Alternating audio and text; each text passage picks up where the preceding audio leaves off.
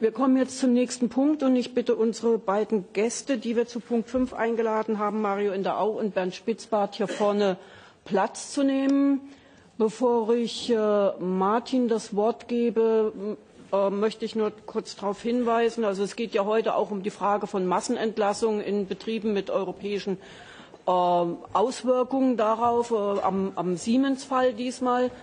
Ähm, ich möchte euch nur darauf hinweisen, dass äh, in dieser Woche der EuGH ein Urteil gefällt hat, äh, dass bei Massenentlassungen schwangere Frauen nicht mehr automatisch geschützt werden. Ähm, was wir für einen Skandal halten, weniger jetzt, dass der EuGH praktisch gesagt hat, er hat gar keine andere Rechtsgrundlage, außer eine solche Feststellung zu treffen, sondern dass äh, die, EU-Gesetzgebung praktisch hier nicht den entsprechenden Schutz klar und deutlich mit vereinbart hat.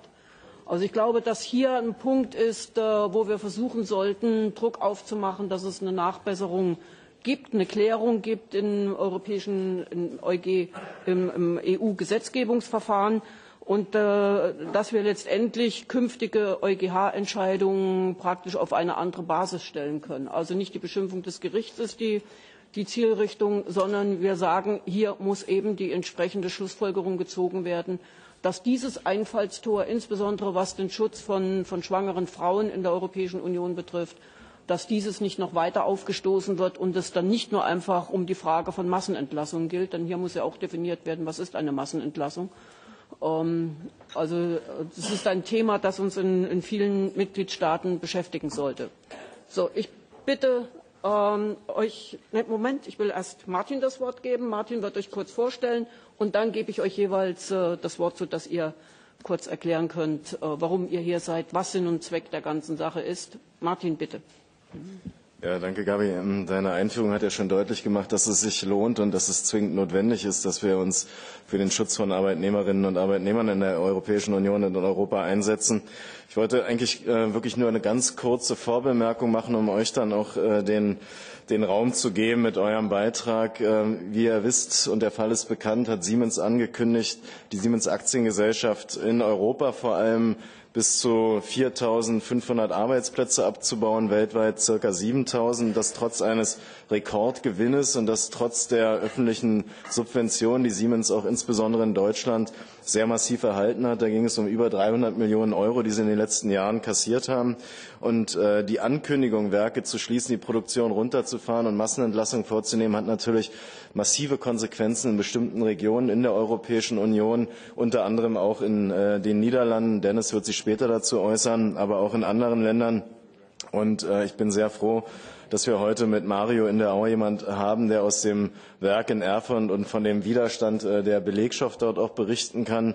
Und ich bin auch sehr froh, dass wir mit äh, Bernd Spitzbart jemand haben, der das politisch dann hinterher auch aus Sicht der Gewerkschaften, der deutschen Gewerkschaften einordnen kann, weil ich glaube, dass wir uns auch politischen Fragen natürlich in diesem Zusammenhang widmen müssen. Eine Frage ist, glaube ich, ganz dringend, äh, wie wir als Linke, als gesellschaftliche Linke gemeinsam mit Gewerkschaften zu einer transnationalen Gewerkschaftsstrategie finden können in Antwort auf die Strategien der transnationalen Konzerne, die im Grunde genommen immer darauf hinauslaufen, die Leute gegeneinander auszuspielen, Massenentlassungen vorzunehmen, auch Steuerwettbewerb zu befördern zwischen Industriezentren einerseits, aber auch zwischen Nationalstaaten ganz einfach andererseits. Und äh, zweitens, wir uns auf solchen Fragen von Veränderungen von Produktionslandschaft, von Digitalisierung und Technologien, die neu eingeführt werden, also Industriepunkt 4.0, was bedeutet das für die Arbeitswelt eigentlich, wie gehen wir damit um, zu nähern. Und ich äh, freue mich sehr, dass ihr da seid und dass ihr heute uns helfen könnt, diese Einordnung auch vorzunehmen. Vielen Dank. Ja, danke dir, Martin. Ich gebe euch das Wort. Ihr habt nacheinander die Möglichkeit, ähm, ja, euch kurz vorzustellen und auch zu den angesprochenen Themen aus eurer Sicht die Dinge zu schildern. Mhm. Äh, liebe Kolleginnen, liebe Kollegen, liebe Genossinnen und Genossen, äh, erstmal vielen Dank und auch den Dank äh, der Belegschaft des Siemens Generatorenwerks Erfurt, unsere Belange hier euch äh, zu verdeutlichen, weil vieles äh, ist ja in den Medien zurzeit, vieles wird auch ein Stück weit, ich sag mal, verdreht um dann auch die Notwendigkeit dieser Maßnahmen entsprechend ich sag mal, darzulegen. Und deswegen nochmal vielen, vielen Dank, dass ich hier ein Stück weit auch explizit in Bezug auf, auf Erfurt äh, da ein Stück weit Licht reinbringe in, in die vielen Nachrichten, die äh, derzeit im Umlauf sind.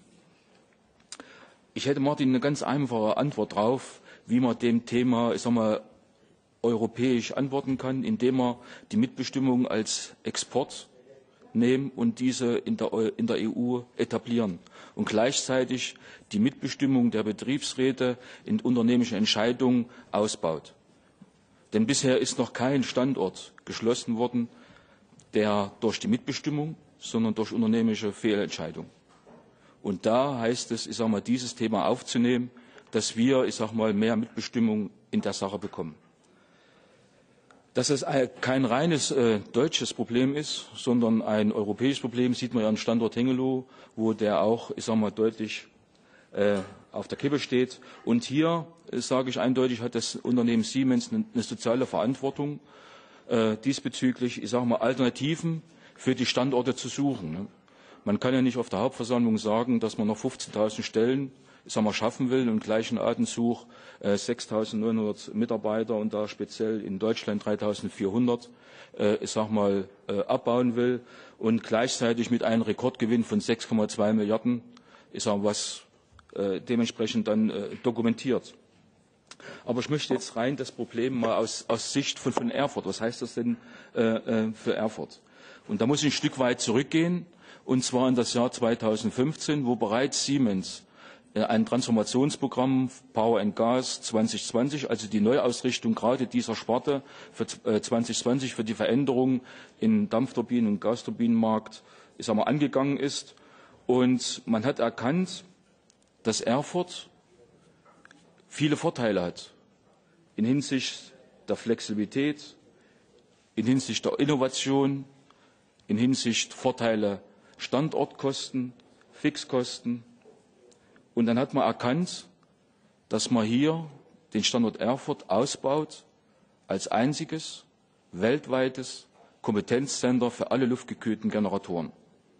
Man hat dann, wie gesagt, die Fertigung aus Charlotte abgezogen und aus Mülheim abgezogen, weil man gesagt hat, hier bündelt man die, die Fertigung, weil hier, ich sage mal, durch die Verlagerung nach Erfurt weitere Marktanteile, Marktanteile gewinnen kann. In den letzten Jahren wurden Investitionen getätigt, um gerade diese Generatorentypen zu fertigen. Ich sage jetzt nur mal ein Beispiel, dass man es mal plastisch mal vor sich hat. Man hat dann in Drehbänke investiert, die sind 15 Meter lang, die haben 80 Tonnen, tragen die zwischen Spitzen oder 300 Tonnen Kran, um diese Lasten zu bewegen. Weiterhin haben wir die einmalige äh, äh Situation in Erfurt, dass Vertrieb, Entwicklung, Konstruktion, Fertigung alles an einem Standort ist und alles aus einer Hand heraus äh, erfolgen kann. Wir haben und entgegen der Darstellung, was immer gesagt hat, dass wir nicht ausgelastet sind, äh, sind wir von dem Rückgang, was im fossilen Markt äh, durchaus vorhanden ist, nur zu 20 Prozent betroffen und wir haben nach wie vor eine sehr gute Auslastung, nicht nur dieses Jahr, auch das kommende Jahr, weil wir eben Produkte haben für die zentrale, dezentrale Energieerzeugung sowie für die Produkte für die Energiewende. Hier sei nur mal kurz erwähnt, um was wir da reden. Wir reden da auch um, um, um Solarkraftanlagen, um äh, Biomasse, Kraftanlagen, um Stadtwerke, also reine dezentrale Energieversorgung, sowohl auch äh, Gas- und Dampfkraftwerke und reine Gaskraftwerke.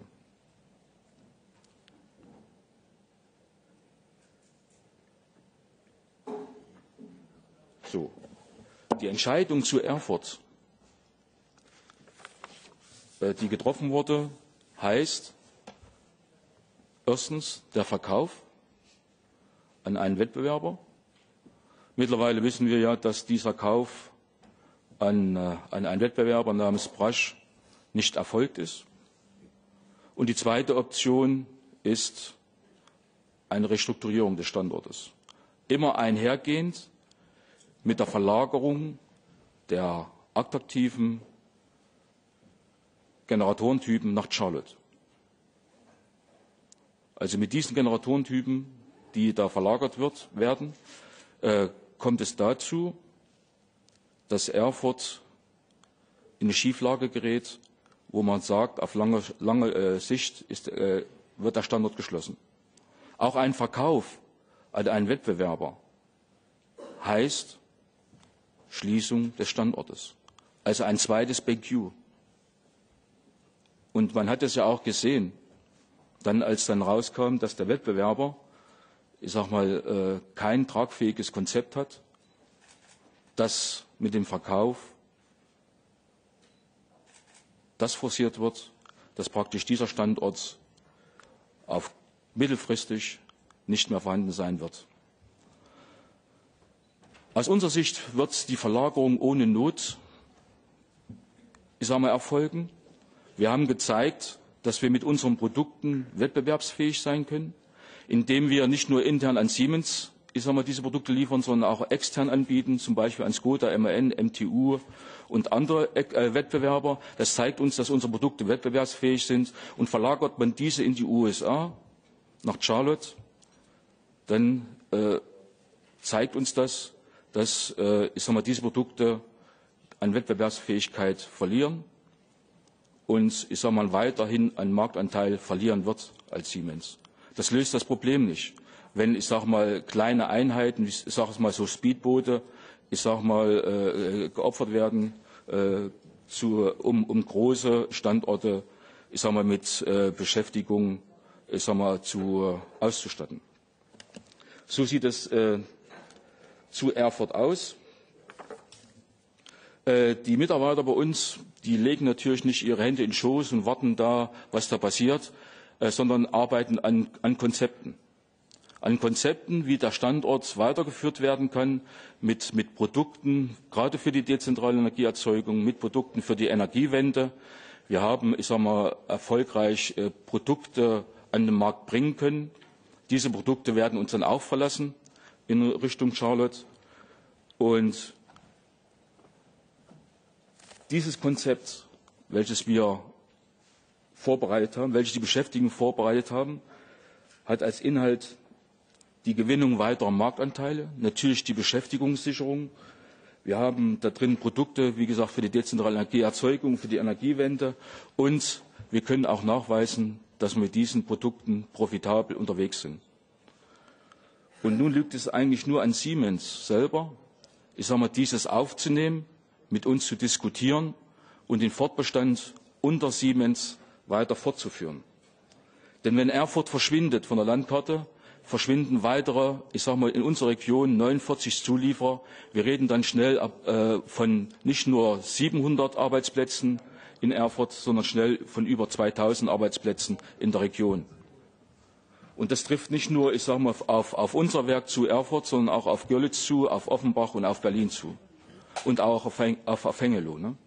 Das muss man sehen. Und wir müssen eindeutig sagen, Siemens hat eine soziale Verantwortung. Und dieser sozialen Verantwortung soll sich Siemens stellen. Einerseits sagt man, wie, wie eben gesagt, man will 15.000 neue Stellen schaffen. Und da sollte man auch ein Konzept haben für die Standorte, die weiterhin, ich sage mal, mit Arbeit äh, zu versorgen, um die Standorte nicht zu schließen. Aber eindeutig ist zu sagen, ein Verkauf des Standortes kommt einer Schließung gleich. Und das ist, ich erinnere nur an die Parallelen zu BenQ. Da war es auch, da wurde das Geschäft verkauft und ein Jahr später war alles tot. Und das darf nicht nochmal passieren. Danke nochmal. Ja, recht, recht herzlichen Dank, äh, Mario. Und ich gebe das Wort gleich weiter an Bernd. Ja, liebe Kolleginnen und Kollegen, liebe Genossinnen und Genossen, erstmal vielen Dank, dass wir heute die Gelegenheit haben, hier mal vorzusprechen. Der Mario hat ja am Beispiel Siemens äh, mal in Stenogrammstil dargestellt, wie eigentlich äh, die Entwicklung ist. Und ein Stück weit, glaube ich, ist auch äh, transparent geworden, wie Entscheidungen getroffen werden, die jetzt, sage ich mal, jenseits von einer vernünftigen wirtschaftlichen Entscheidungen äh, stattfinden, sondern äh, dass wir es im Wesentlichen mit äh, wirtschaftspolitischen Entscheidungen zu tun haben, die die Konzerne äh, mittlerweile äh, treffen. Wenn ich das äh, von oben her äh, betrachte, äh, sehe, ähm, dann müssen wir ja feststellen, dass wir seit über einem Jahrzehnt, ich könnte jetzt ketzerischerweise sagen, seit beinahe ein Vierteljahrhundert, seit dem Fall der Mauer, der Wiedervereinigung, einen echten äh, Kulturbruch äh, haben, was sozusagen das Thema soziale Marktwirtschaft angeht, mit äh, dem Blick der Ausrichtung Gestaltung von, ähm, von Arbeit. Wir stellen fest, dass die Frage der Margenpolitik des Managements, also der aktiengetriebenen äh, Unternehmenspolitik, äh, mehr und mehr in den Vordergrund äh, gestellt wird und das äh, wesentlich auch dazu mit beigetragen hat, die Entwicklung der Wirtschaftsförderungsfragen in Deutschland, in Europa, äh, dass eben äh, Konzerne so äh, agieren können. Wir stehen äh, mit Erfurt äh, mit einem Standort äh, bei Siemens mit rund 700 äh, Beschäftigten wo wir sagen können, wir haben äh, eine kleine Perle äh, in den neuen Bundesländern und in Thüringen, weil das ist ein Standort, der hat so viel Know-how mit Forschung und Entwicklung, was äh, ansonsten, wo äh, diese äh, Länder davon geprägt sind, dass sie mehr oder weniger verlängerte Werkbänke sind. Äh, natürlich äh, einen Standort, wenn der verloren geht, äh, dass es äh, nicht so einfach wieder äh, zu ersetzen äh, sein wird. Und äh, Ich weite das mal ein bisschen aus. Wir sprechen an der Stelle von 700 Beschäftigten. Wir sprechen im Durchschnitt von direkt Betroffenen nur aus dem Siemens-Standort, nämlich mit ihren Familien. Und jetzt sage ich mal einfach, ähm, da ist äh, wenigstens ein Kindhaushalt äh, äh, mit äh, dabei von 2100 Betroffenen und dieselbe Zahl, die haben wir ja nochmal äh, über die Zulieferer- und Kundenstrategien. Äh, sodass wir eigentlich äh, nur aus dem Standort Erfurt von 4.200 direkte Betroffenen eigentlich äh, sprechen, bevor wir dann äh, in den Sektor einsteigen und sagen, wie sieht es aus? Äh, das sind ja äh, Industriearbeitsplätze, die gut bezahlt sind. Anders als äh, Dienstleistungssektoren. Das ist euch ja auch hinreichend äh, bekannt. Und dann sage ich eben, wenn da die 4.200 Betroffenen. Äh, dann fangen wir an, darüber zu diskutieren, was bedeutet das fürs Handwerk, für die Region, für den Bäcker, Fleischer, Fliesenleger etc. Äh, und so weiter. Und da müssen wir, glaube ich, den Fokus viel mehr darauf legen. Wir brauchen in der äh, Wirtschaftspolitik ein klares Umdenken. Wir haben in den letzten Jahren beobachten können, dass äh, Konzerne, Unternehmen mit Freiwilligkeitsvereinbarungen so durchgeschlüpft sind Das ist, ob in, in der EU oder ob es äh, in Deutschland oder wo auch immer gesagt wird, es gibt einen Ehrenkodex, das ist eine Freiwilligkeitssache, die Unternehmen schließen sich dem an und handeln danach. Wir brauchen Verbindlichkeiten. Ich glaube, wir müssen auch hier darüber diskutieren, dass wir zu der Frage, bei äh, Milliardengewinne äh, muss es ein Verbot geben von Massenentlassung. Das muss klar auf die europäische Tagesordnung, äh, das muss manifestiert werden. Ich glaube, wir müssen darüber äh, sprechen, Was passiert, äh, wenn Unternehmen sich nicht daran halten? Äh, oft stellen wir die Frage oder unsere Kollegen stellen die Frage, dürfen die denn das? Ja, also wenn die Botschaft klar ist, wenn es Verbindlichkeiten gibt und die heißen, nein, sie dürfen das nicht, äh, dann muss neben der Frage, aber sie machen es trotzdem auch die Antwort auf Sanktionen geben.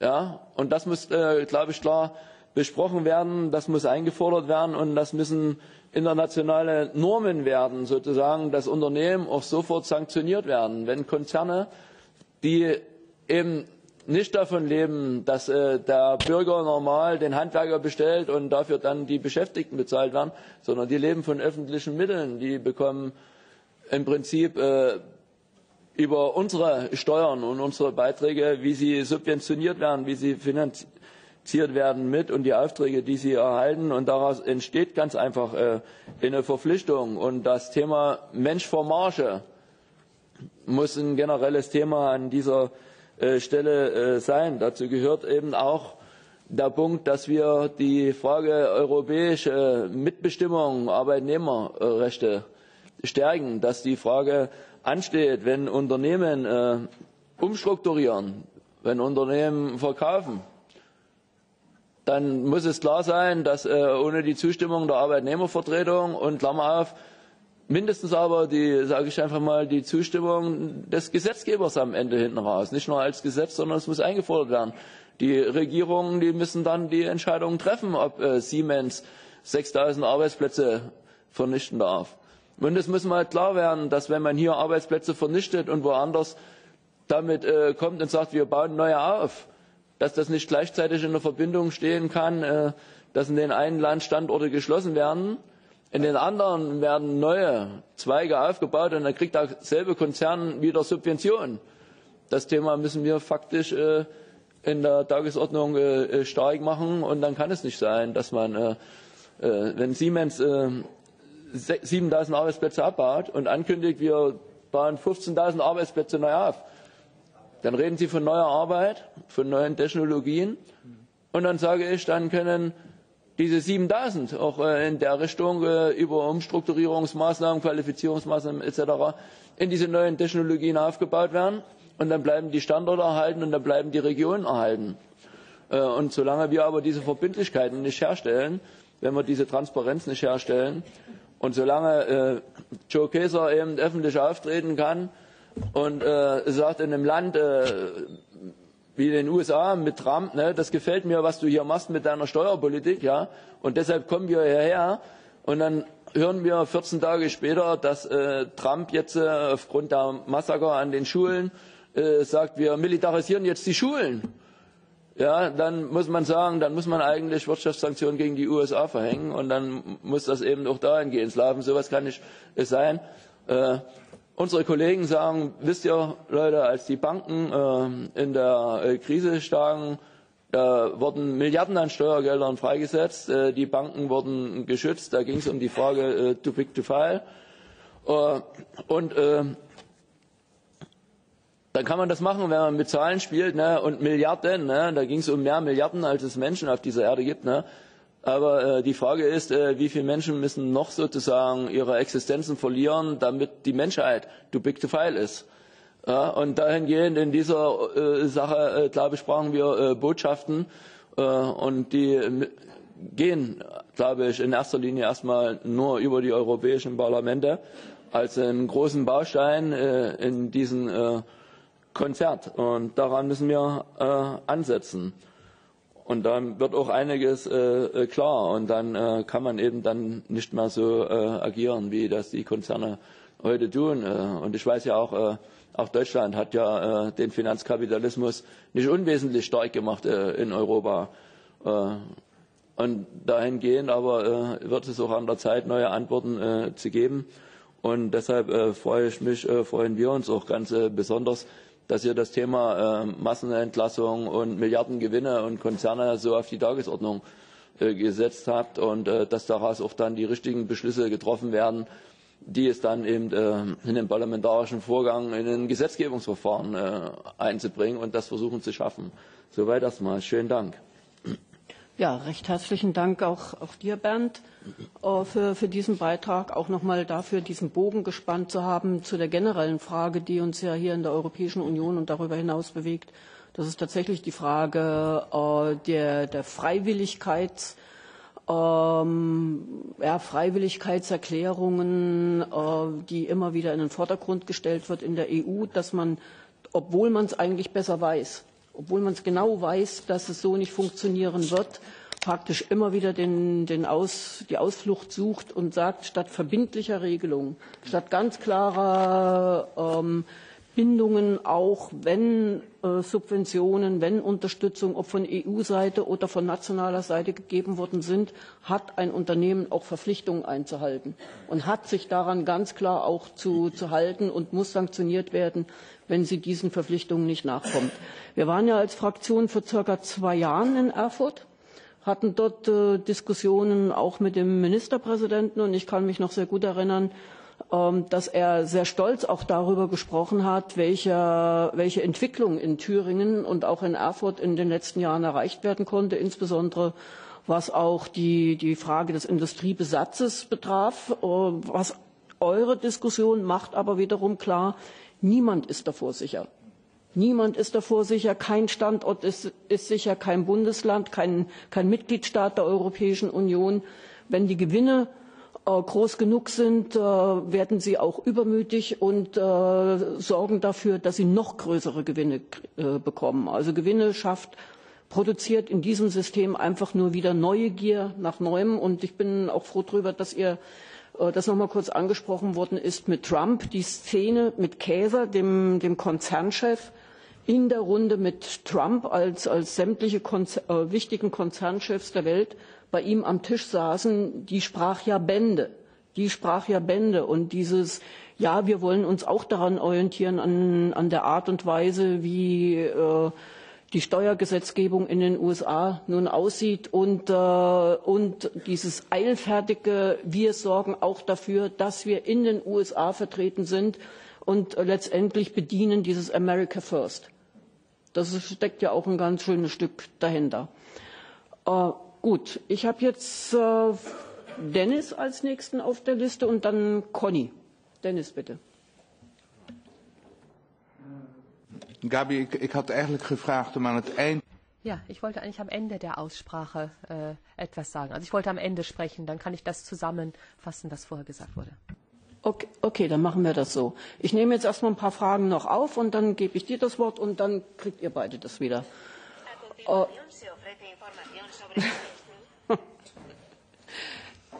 jetzt ist Conny als nächstes dran. Ja. Ja, vielen Dank. Auch vielen Dank für euer Kommen. Das ist, denke ich, wirklich wichtig. Ähm, und ich glaube, wir müssen ein bisschen Klartext sprechen. Es geht ja nicht nur um Erfurt, es geht um ostdeutsche Arbeitsplätze. Und zwar Standorte in Größenordnung. Ich komme nun aus Sachsen. Wir haben eine Debatte, die ist unterirdisch. Bombardier geht aus der Lausitz weg. Siemens verspricht zwar irgendetwas, aber es gibt keine Garantien. Ein sogenannter Zukunftsfonds wird gesprochen. Bei uns bricht ja nicht nur ein Teil von Industrie, von Restindustrie weg, muss man sagen, sondern er wird entkernt.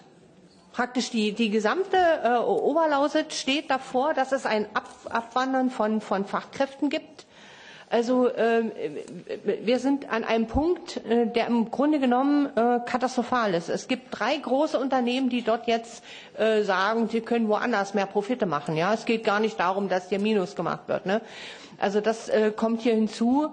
Äh, und wenn wir dann noch die Braunkohlegeschichte mal vorsichtig antippen, ja, und wir alle wissen, worüber wir da reden, ja, dann kann ich nur sagen, haben wir in einigen Regionen in Ostdeutschland eine Situation, die vergleichbar ist mit kurz nach der Wende, mit Totalabbruch.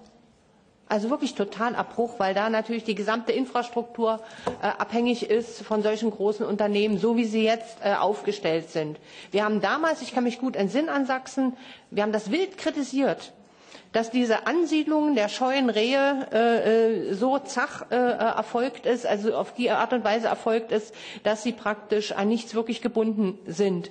Das ist auch bei neuen äh, Unternehmen, die LEAG zum Beispiel, ähnlich äh, jetzt äh, in der Lausitz. Ich sage es ganz klar, wenn dieser Abbruch passiert, bei uns in Ostsachsen, nur mal das so genannt, dann werden wir nicht nur irgendwelche Wahlen haben 2019, sondern werden die Landkreise von der AfD dominiert.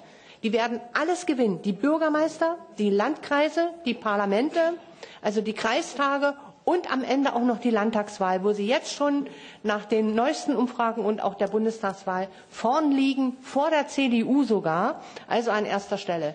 Um die Dimension geht es. Und äh, ja, man muss natürlich Druck machen jetzt äh, auf Siemens, dass diese, äh, dass diese äh, Arbeitsplätze erhalten bleiben. Die europäische Ebene, ich weiß nicht, wie weit die dafür äh, ja, die Kraft eigentlich hat. Ich bin mir nicht sicher. Äh, zumal ja genau solche Ansiedlungen, genauso wie das läuft, der Markt regelt alles. Ich höre das förmlich, ne? Äh, ja, von der Mehrheit des Parlaments auch unterstützt wird. Also ich jedenfalls kenne nichts anderes. Und insofern glaube ich, steht hier wirklich ein Stück weit Ostdeutschland auf dem Abriss. Ja? Hier müssen wir uns zusammenschließen über die Länder hinweg äh, und sagen, nirgendwo darf es den Abbruch geben, äh, dürfen uns hier also auch nicht einschüchtern lassen. Und wenn das noch darüber hinaus bis in andere äh, Mitgliedstaaten geht, dann glaube ich, muss man hier wirklich Widerstand ankündigen, weil äh, für uns wird das verheerende Auswirkungen haben. Ja? Rede ja gar nicht von äh, anderen äh, Regionen. Soweit erst einmal. Danke, Conny. Joao, bitte. Joao aus Portugal. Danke schön, Gabi. Also zunächst einmal möchte ich es begrüßen, dass ihr anwesend seid. Und im Namen äh, der Kommunistischen Partei Portugals möchte ich meine Solidarität mit den Arbeitnehmern von Siemens in Deutschland bekunden. Aber gut, Siemens ist ein multinationales Unternehmen und beschäftigt Tausende von Arbeitnehmern auch in Portugal. Und da braucht man nicht lange in den entsprechenden Informationen zu suchen über Siemens, um sich äh, vor Augen zu führen, dass in den letzten Jahren wiederholt dieser Konzern Massenentlassungen angekündigt hat in den verschiedenen Betriebsstätten. Ich möchte weniger eine Frage stellen als eine Bemerkung dazu machen das hat äh, eben mit äh, den bei den internationalen Konzernen üblichen Vorgehensweisen zu tun. Also ganz schamlos streichen sie einfach Betriebsstätten in äh, ihren Heimatländern, aber auch in anderen Ländern, wo sie sich niedergelassen haben. Diese Betriebsstätten werden einfach verlagert. Und das einzige Ziel ist, Kosten zu reduzieren, vor allem Kosten für Arbeitnehmer, und dadurch soll der Profit für die Aktionäre erhöht werden. Und mehrere Industrieunternehmen haben äh, sich äh, in dieser Art und Weise betätigt. Und ich möchte darauf hinweisen, dass vor kurzem auch intensiv äh, äh, die Mitarbeiter von Autorop, ein äh, Teil äh, des Volkswagen-Konzerns, äh, sich hier hm, geäußert haben in Form von Demonstrationen. Da sollten nämlich die Arbeitnehmer gezwungen werden, am Wochenende zu arbeiten und gleichzeitig äh, Lohneinbußen hinzunehmen.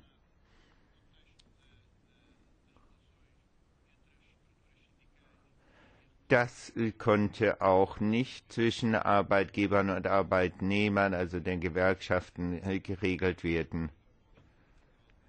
Dieses Unternehmen hat dann schlussendlich diese Bedingungen einseitig auferlegt.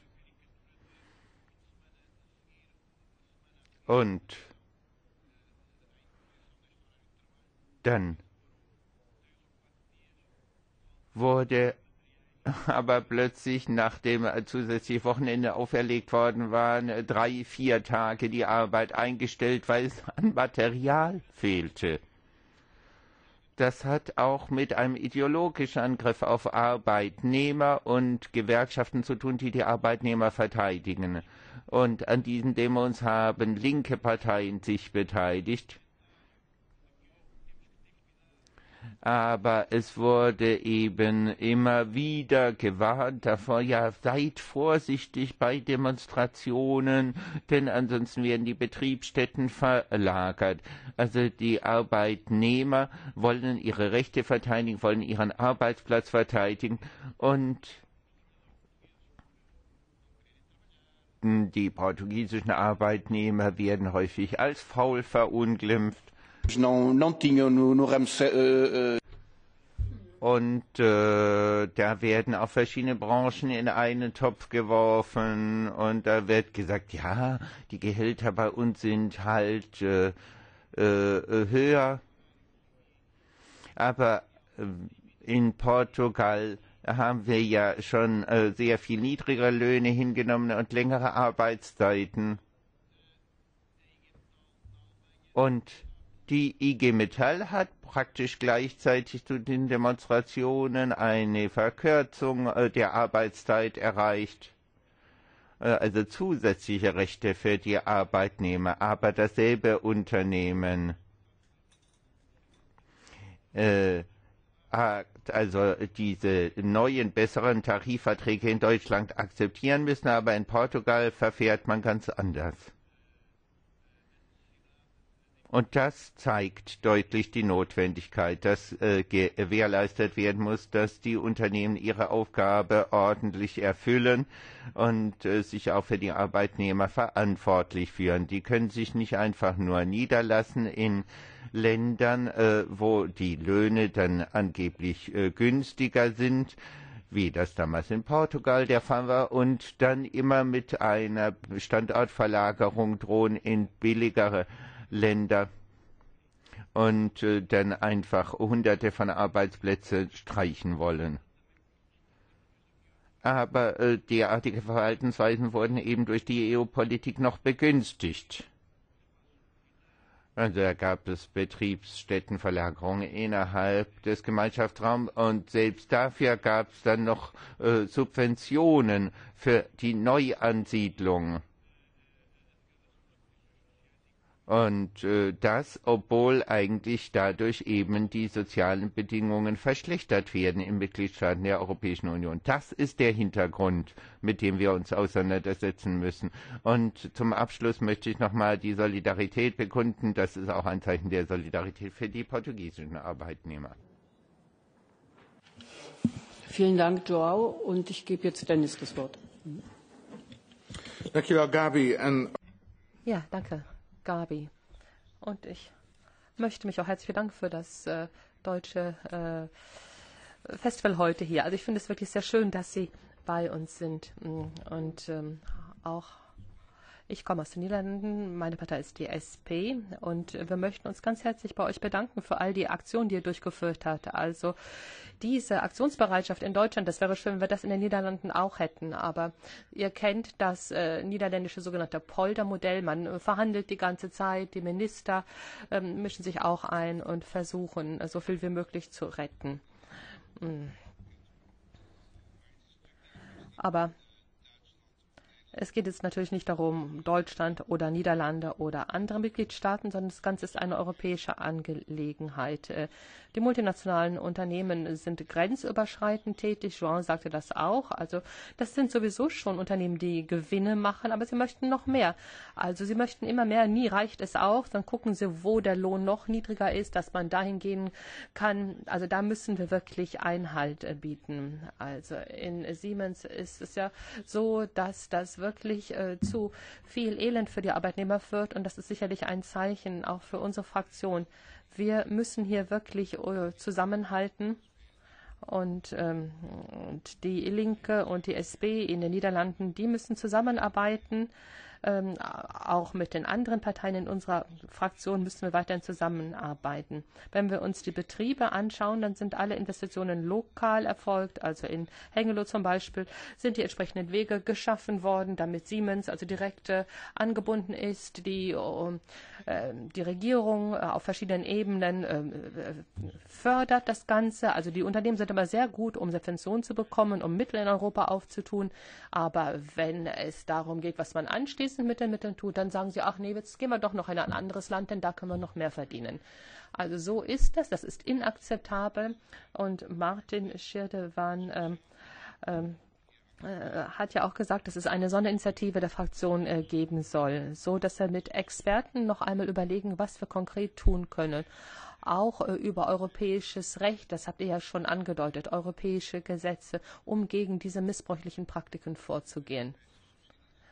Wir denken zum Beispiel an die europäischen Fördermittel. Das ist ja etwas, was eigentlich auf der Hand äh, liegt. Ähm, es ist so, dass man im Augenblick doch wirklich für Konditionen ist. Ähm, äh, im Bereich der Kohäsionspolitik. Da geht es dann um Staaten, die müssen äh, Strukturen, äh, Strukturveränderungen haben. Also das ist etwas, was wir nicht unbedingt äh, hier unterstützen, aber Bedingungen für bestimmte Betriebe, das ist interessant. Also wenn man zum Beispiel Praktikant ist bei einem Betrieb, dann hat man einen Vertrag, den man unterschreiben muss. Also wenn man den Betrieb verlässt, dann muss man Ausbildungskosten teilweise zurückzahlen.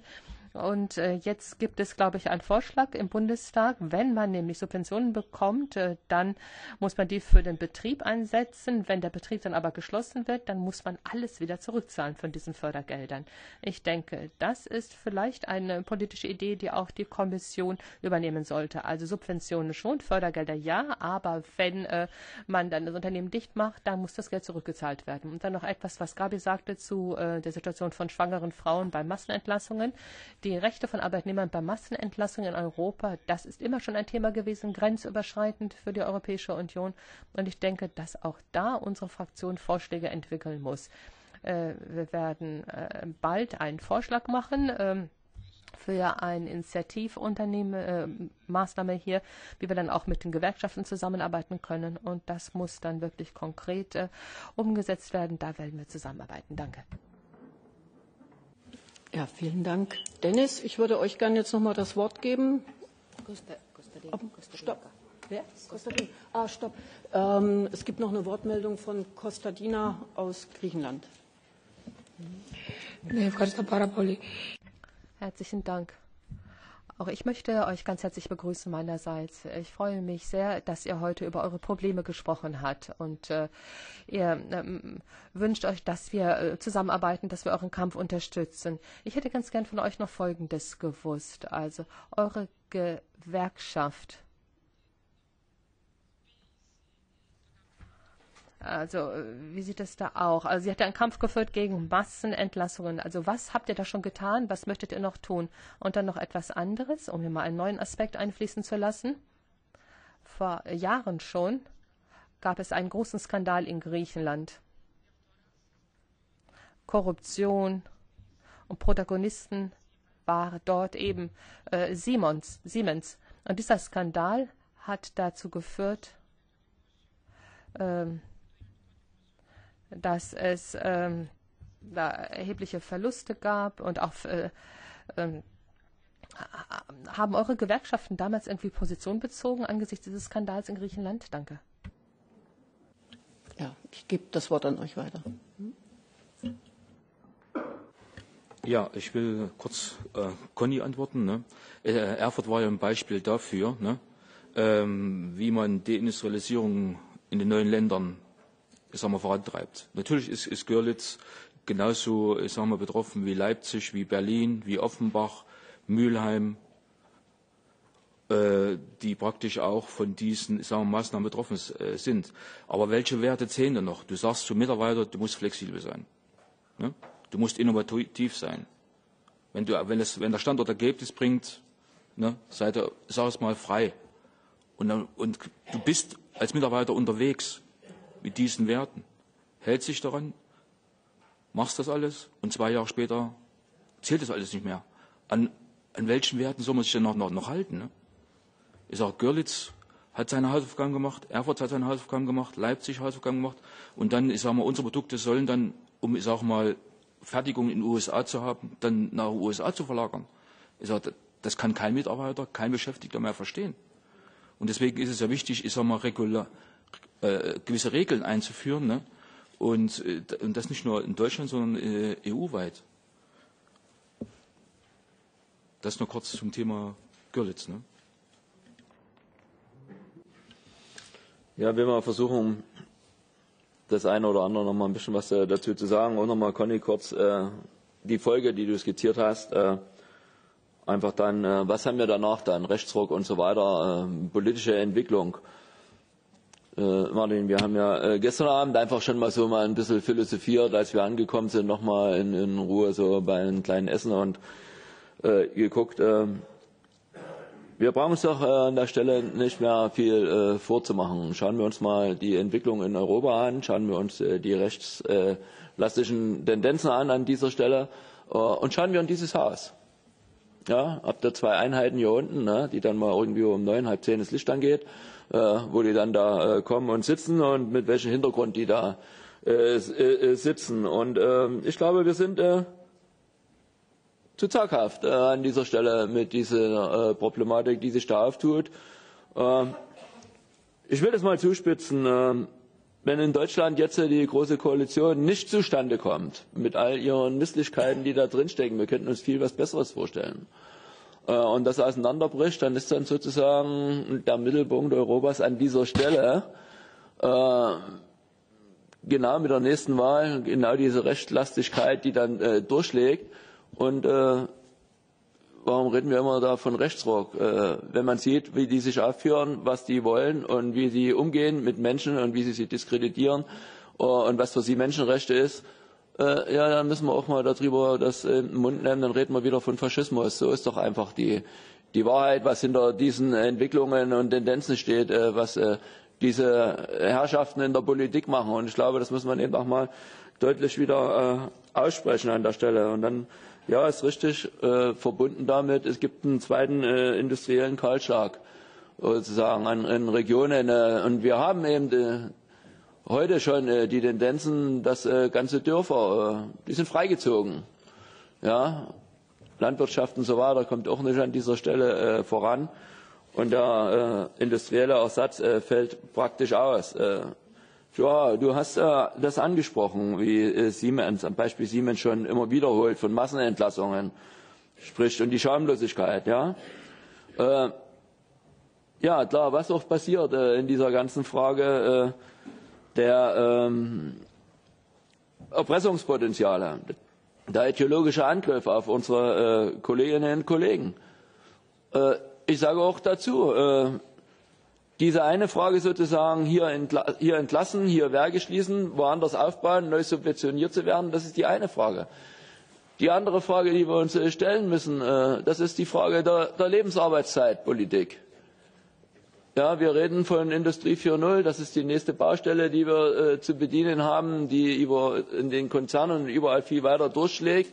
Äh, ja, wir haben alleine in Thüringen äh, 20 Prozent substituierbare Arbeitsplätze. Und die gehen von gut bezahlten Industriearbeitsplätzen, wird ein Teil aufgefangen in Dienstleistungen mit viel geringeren Einkommen. So, aber die, und, und, und was bedeutet denn das, was an, an Kaufkraft und ähnliches äh, ansteht und wie sich das äh, entwickeln und wie viele Arbeitsplätze werden denn äh, freigesetzt? Äh, man kann ja einfach mal ein Stück in die Geschichte zurückgehen und äh, Nils von Bräuning war mit Sicherheit äh, kein Kommunist, kein Sozialist, ne, aber hat die soziale, äh, katholische Soziallehre vertreten, war Berater von Adenauer. Also ist ein ganzes Stück zurück, aber der hat in seiner äh, Schriften schon Adenauer beraten und hat gesagt, pass auf, äh, die industrielle äh, Industrie braucht drei Arbeitstage, um das bedienen zu können, was erforderlich ist. Ja, und äh, wir reden immer mehr über Verlängerung von. Wir reden zwar momentan von einem, einem Running und Beschäftigungsaufbau und von eins zum anderen, aber ihr wisst das besser oder genauso gut wie wir. Das, was aufgebaut hat an Arbeitsplätzen mit Befristungen, mit Zeitarbeiten und all diesen Dingen, also der größte Teil ist doch Prekarität. Ja, und wenn man große Konzerne sieht, die mittlerweile in ihrer, ihrer Personalpolitik der prekären Beschäftigung sozusagen den Vorrang geben, dass sie sagen, das ist ein Erfolgsmodell, wo von einem Unternehmen mit 3000 Beschäftigten die Hälfte prekär beschäftigt ist.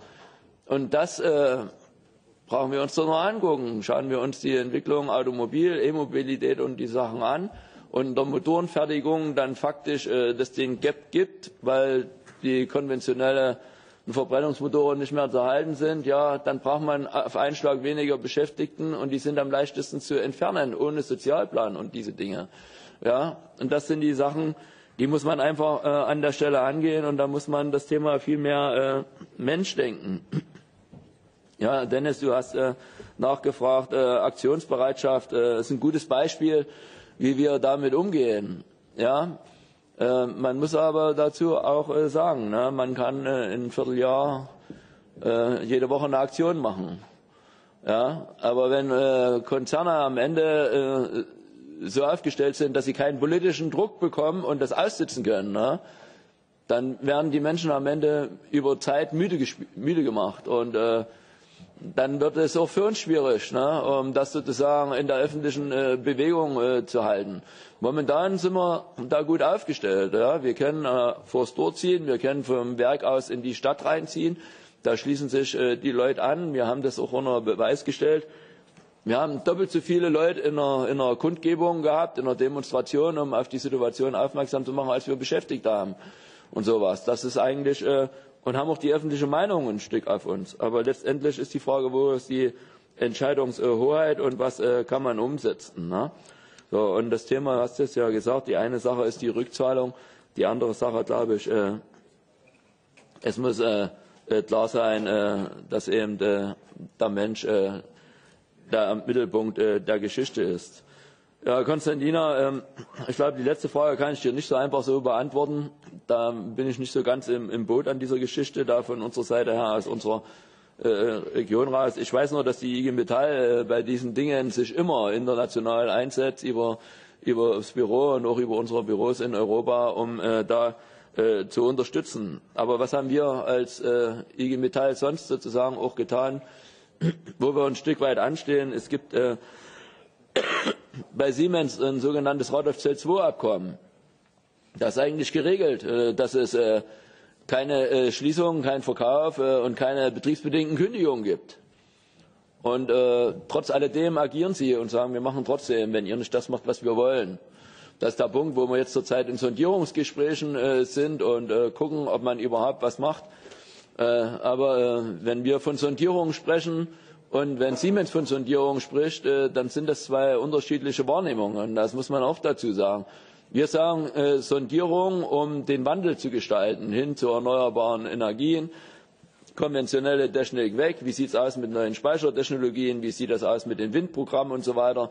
Immerhin ist der Standort ja Kompetenzzentrum äh, Äh, geworden in, in 2015, äh, als man eben auch schon unter Radolf Zell II äh, Verhandlungen äh, geführt hat und äh, trotzdem wird da hinten raus äh, in Frage gestellt, diese Widersprüche, äh, die da sind. Äh, und äh, Siemens äh, sitzt äh, mehr oder weniger dabei und sagt, äh, sagt ihr uns, was wir tun sollen, das muss man sich mal vorstellen, ohne, ohne, ohne Entscheidungskraft. Ne? Und äh, die Kollegen, wir haben einen guten Stand, wir haben über 70 Ingenieure an dem Standort, das sind über 10 Prozent der Beschäftigten äh, in Erfurt. Äh, die entwickeln Konzepte, die tragen die vor, die äh, entlarven faktisch auch den Vorstand, dass das, was er zugearbeitet bekommt von seiner Ebene, äh, eigentlich äh, fähig sind. Ja, dass das äh, bewusst sozusagen abgebildet wird, aber äh, wir stellen nicht fest, äh, dass innerhalb der Sondierungsgespräche die äh, Konzepte, die auch aus äh, der Belegschaft und auch mit Entscheidungskompetenz, sage ich mal, mit, mit äh, kognitiver Entscheidungskompetenz, nicht politischer, äh, äh, eigentlich gar nicht zum Tragen kommen. Die werden aus, beiseite gelegt, äh, als, als wenn es das nicht gibt. Und das ist äh, die Schwierigkeit, äh, die da drin äh, steht. Ja, soweit. Danke. Ja, vielen, vielen Dank euch beiden. Vielleicht nur noch mal eine Bemerkung. Äh, weil du das angesprochen hattest, auch der, der Mensch muss im Mittelpunkt stehen. Ich denke, worüber wir viel mehr auch diskutieren müssen, ist, dass im, im Zuge der Globalisierung äh, letztendlich gerade den global agierenden, europäisch agierenden Konzernen wir noch längst nicht entsprechend äh, eine Gegenmacht äh, entgegensetzen können.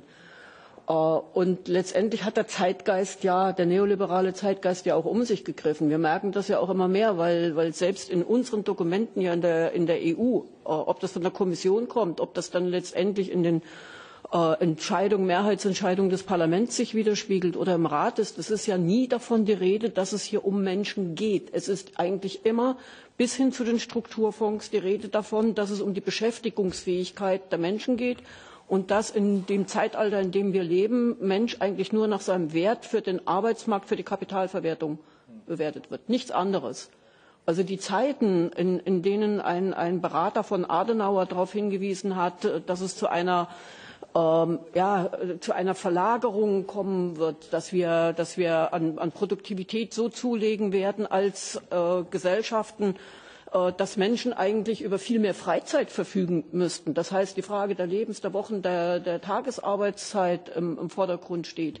Die wird doch weggedrängt, weil es de facto nur noch äh, darum geht, wie, wie kann man möglichst bis hin zu Frage Null-Stunden-Arbeitsverträge in einigen Mitgliedstaaten der EU von den Leuten noch mehr rauspressen, noch mehr Gewinne machen und ähnliches. Und wir, was wir schaffen müssen, und das, glaube ich, ist unsere große Schwäche, äh, zu versuchen, die konkreten einzelnen Beispiele tatsächlich wirklich so auch deutlich zu machen, also im Einzelnen drum zu kämpfen und gleichzeitig aber auch den Rahmen deutlich zu machen, ähm, dass, wir, dass wir erfolgreich nur werden können, wenn wir dieser, diesen global agierenden Konzernen auch eine, eine global und europäisch agierende Öffentlichkeit, Gegenöffentlichkeit entgegensetzen können und praktisch jedes einzelne Beispiel einer Standortschließung oder von, von dem Drängen von Menschen in Prekarität ähm, letztendlich auch, ob das in Deutschland ist, ob das in Griechenland ist, in Spanien, Portugal oder in den Niederlanden oder in Frankreich mit Alstom,